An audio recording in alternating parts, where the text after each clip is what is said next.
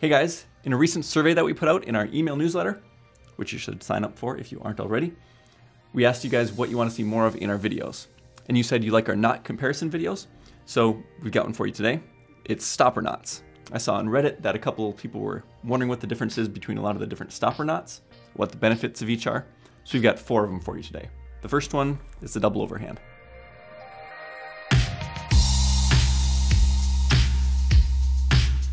So I'm going to be tying these in Para-Max today. You can tie these in any kind of rope, but this is a good way to test knots because nylon is really slippery.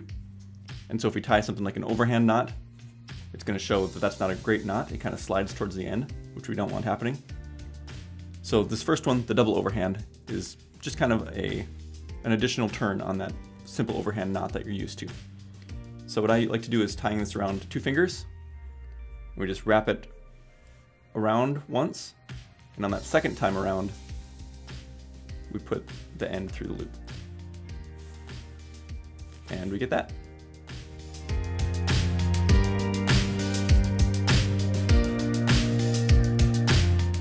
This next one is the Ashley stopper knot. This one was popularized by Clifford Ashley. I think there's also some other names for it, but this is what it's come to be known as now.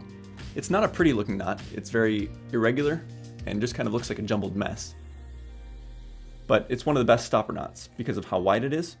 So you can thread your rope through a piece of hardware and have that nice wide knot to keep it from pulling back out. To make the Ashley stopper, we just want to bend our rope into a U, an upside down U, and then we're going to fold it down so that we have two loops. We want to bring that left one, or the one attached to our standing end, underneath and up through the other loop and then we'll pull our end to cinch it down. Then we'll take that same end and bring it up through the remaining loop. Pull on your standing end, and you have your Ashley stopper.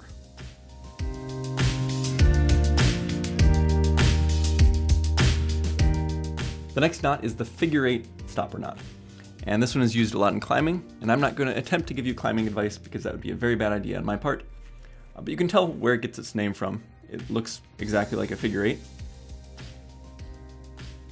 This one's easy to tie and untie, and it also has some other purposes. So let's make it. I'm gonna start with my cord on the top this time.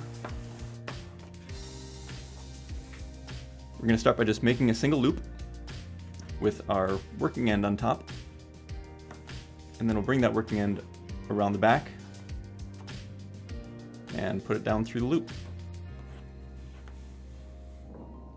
And that's all there is to the figure eight. You want to make sure it's dressed nice and tightly before using it. So I'm going to tie this knot for you again, and I'll show you another useful feature of this knot. We'll just leave a little bit more slack on the end this time. So before we tighten that down, we can take our loop and just trail it right back through the knot following that standing end and being careful not to cross over itself. So that when you pull it tight, it sits nice and flat like this. And if you're a climber out there, you might tell me I'm doing this part wrong too. So don't take my advice if you're using this for climbing again. But now we have a nice end loop, and that's often used to secure a climber to the end of a rope. Using a carabiner, you can then attach it to your harness.